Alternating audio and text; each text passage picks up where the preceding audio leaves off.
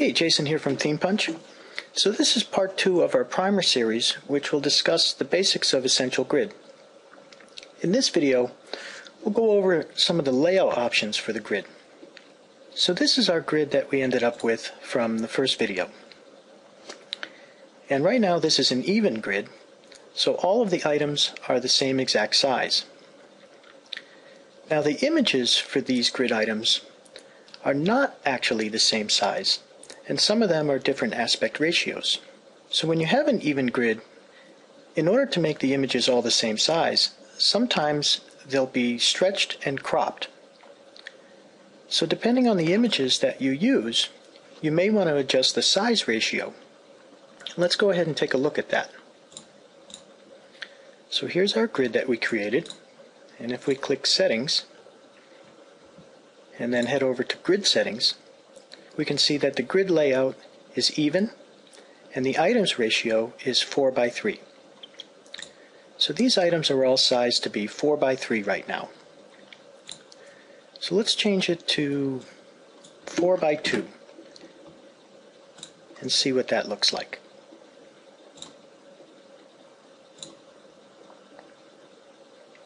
So here you can see all of our items are now sized 4 by 2. So this doesn't look that great with this particular skin. So let's go ahead and change the skin real quick. we can change it back to Washington.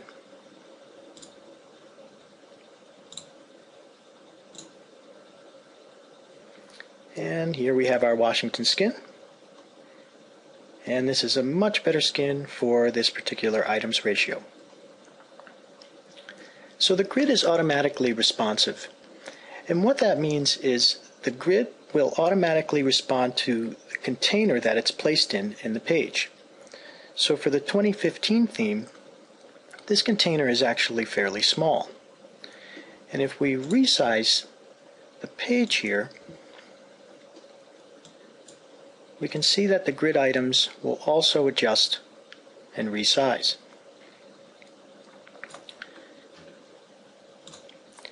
Now depending on the screen size, you can also decide how many columns that you want to show per screen size. And this is particularly useful for mobile devices. So if we head back to Essential Grid, in the grid settings, if we scroll to columns, you can see right now it's all set to 2. But we could go ahead and change this to 3 for the desktop columns, and then 2 for tablet landscape and regular tablet. And then we can set it to 1 for mobile. So generally this will be, tablet landscape will be uh, 1024 pixels. A tablet portrait will be around 768 pixels. Mobile landscape will be around 640 pixels and mobile portrait will be around 360 pixels. So if we save that,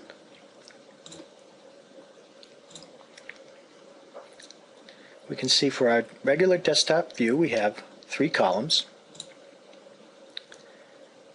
And then if we resize the page,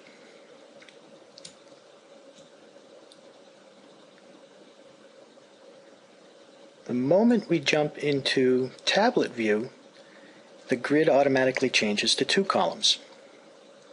And if we keep resizing down, as soon as we get to smartphone view, it changes to one column. So let's go ahead and look at the difference between an even grid and a masonry grid. So in the grid settings, if we just choose masonry for the grid layout, and then choose Save Grid, this is what our grid will look like.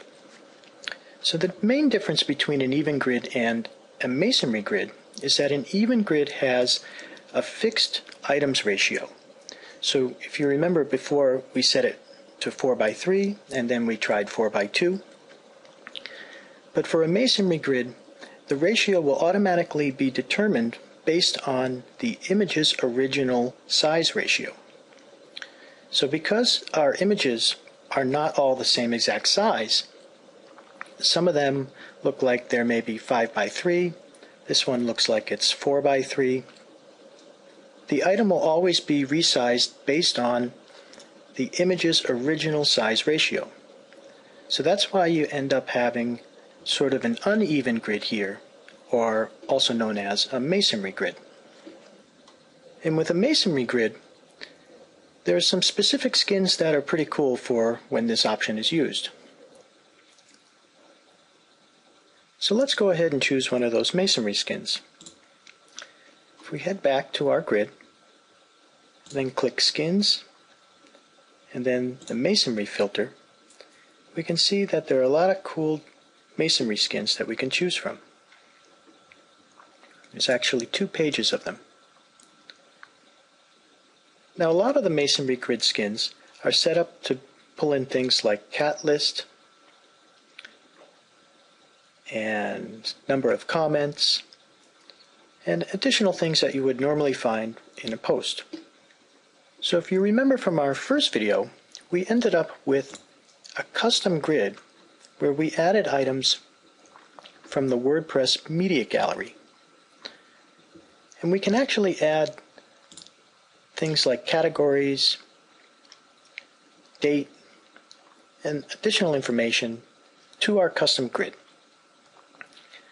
But for this example, let's just go ahead and switch over to a post-based grid, as that will have all of the information we need right from the post itself. So I'm going to select Post, Post Types, Post, and then Post Categories. Save the grid. And now when we choose Skins, and we head over to Masonry, if we choose Garfield and then save the grid, this is what that skin would look like. So you can see, because we're using the 2015 theme here, and there's not a lot of space for the content area, this would probably look better with two columns. So let's go ahead and set that up. In the grid settings, we can change 3 to 2 for our desktop views.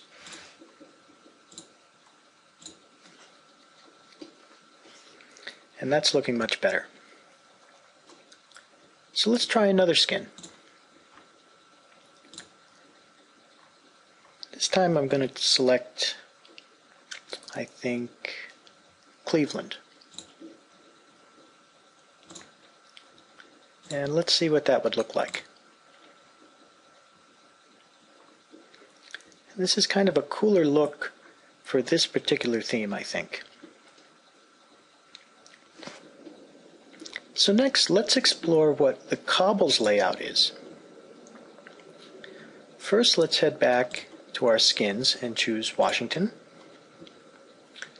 And then back in the grid settings, let's select cobbles for the grid layout. And when cobbles are used, it's sort of the same thing as an even grid, except we have the option to designate two columns or two rows or more for any specific grid item. So there are two ways that we can assign cobbles patterns to a grid item. The first way is if you scroll down to the editor preview, you can click Edit Post Meta and here in the cobbles element size, we can choose a specific cobbles pattern. So let's go ahead and choose um, width 2, height 1. Save the post meta.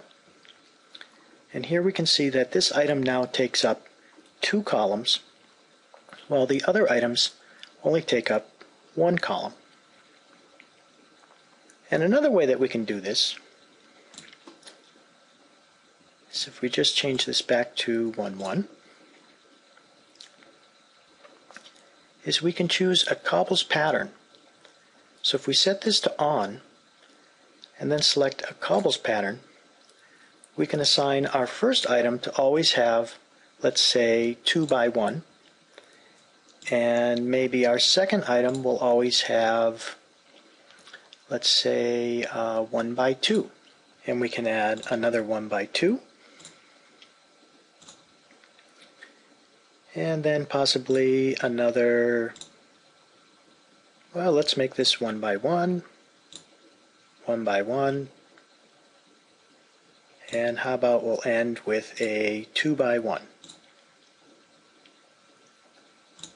So if we save that grid, this is what our cobbles pattern will look like. So you can see that it's only showing three items. So let's go ahead and take a look at why. If we head back to Essential Grid Settings, and we scroll down, we can see max visible rows here is set to 3. So let's go ahead and bump this number up to 6 and then we'll get all of our grid items. And this is the cool cobbles pattern that we set up. So our first item spans across two columns. Our second item spans across one column and two rows. And the next set of items are just uh, one column, one row, and we end with two columns and one row. So it's just kind of a really cool way to get an interesting look for your grid. So let's head back and set cobbles pattern to off and head back to grid layout even and we'll set items ratio back to 4 by 3. So for the main layout, a boxed option will mean that the grid will always fit inside the page's content area.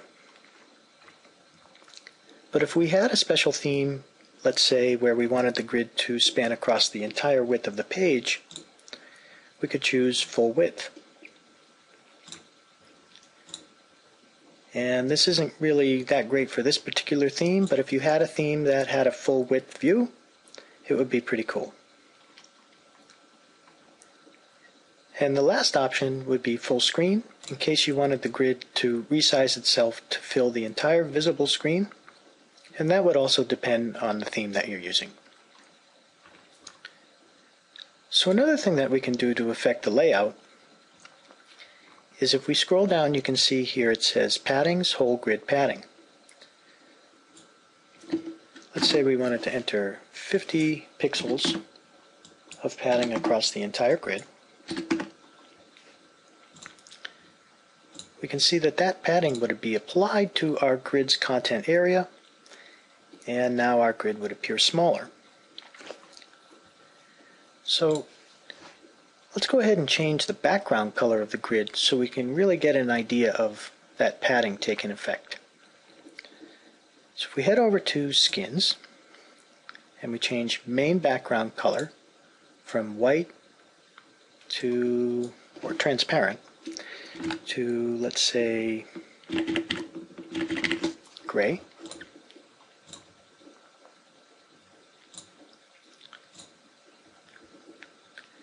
Now we can see that this area here is technically reserved for our grid, but the 50 pixels of padding that we entered is now shown.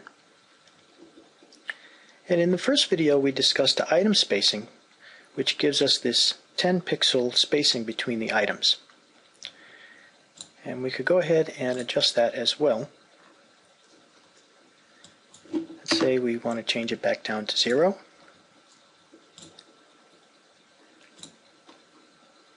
And now we don't have any item spacing.